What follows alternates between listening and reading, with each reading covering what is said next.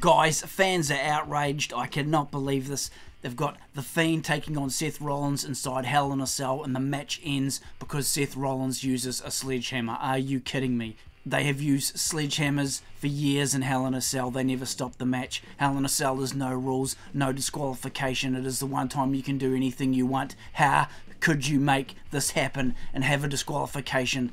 The Fiend should have won this match right from the get go. We all know that anyway. Seth Rollins, he has gone stale. Maybe he should turn heel again or something. He's going nowhere as a champion. They've given The Fiend such a huge push. He should be the Universal Champion. Everybody knows that. The fans crapped all over this match. Boos everywhere for Seth. You had Seth Rollins hitting The Fiend with multiple curb stomps, one after the other. Pedigrees, everything. The Fiend was kicking out at one. WWE trying to show The Fiend to be indestructible. Why didn't they just give him the title? Why not? They've been pushing him so damn hard. He deserved it for God's sakes. Seth Rollins' run as Universal Champion has gone a bit stale. Maybe he should turn heel again. He's doing nothing as a champion. God damn it, and the fans know it. They booed this thing out of the building. Terrible end. Terrible end to this match. The match was drowned in the red light of the Fiend for the entire time. We had ladders, we had chairs, we had sledgehammers, toolboxes, everything. Seth Rollins could not keep the Fiend down. At the end of the match, Rollins buried the Fiend in a whole heap of lumber, ladders, chairs. He had him covered. The Fiend could not move. Rollins grabbed a sledgehammer. With the stupid referee yelling, Don't do this, don't do this, like a real jerk. It's Hell in a Cell, for God's sake, do whatever you like. That's why they have the match in the first place, yeah? Is that what the PG era is now? We have a Hell in a Cell match? A PG Hell in a Cell? Get stuffed. Don't even have one if you're going to end it like that. Why bother having a Hell in a Cell match with disqualifications, right? Uh, go ask yourself.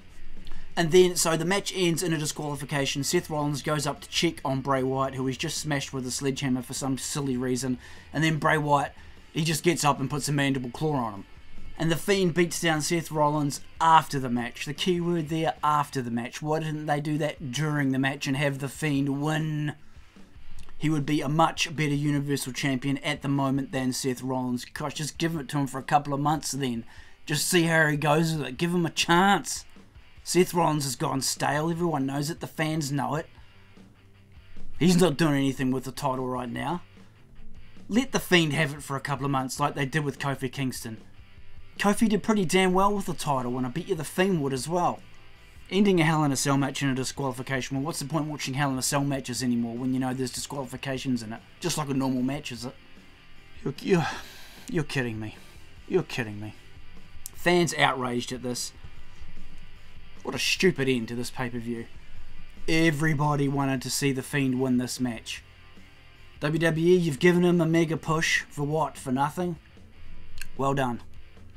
Yeah, not.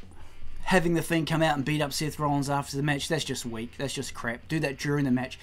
Have the guts and the balls to do that during the match and give the Fiend the title during the match, not after the match. That's just crap. That's just 50-50 booking. We don't want to see that. Are you kidding me? Hashtag Fiend should be the champ. Everyone knows it. Thanks guys for watching. Wow. They really blew this one.